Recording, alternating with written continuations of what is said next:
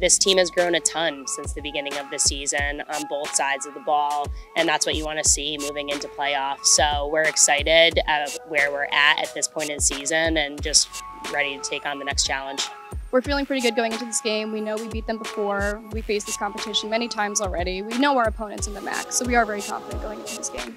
Um, I think they're an aggressive team. They definitely know our scout and we know theirs. Um, so I think it really comes down to which team will be more disciplined and more keyed into um, the moment and also the, um, the key players. You know, I think it's our, our fight. We never really give up.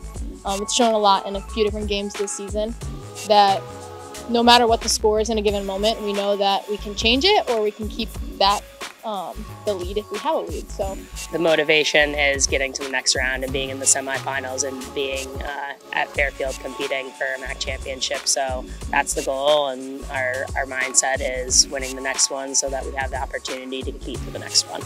We learned a lot this season in regular season, and we're trying to focus on ourselves, figure out what we need to do. Um, to go into the tournament and bring home the MAAC title this year.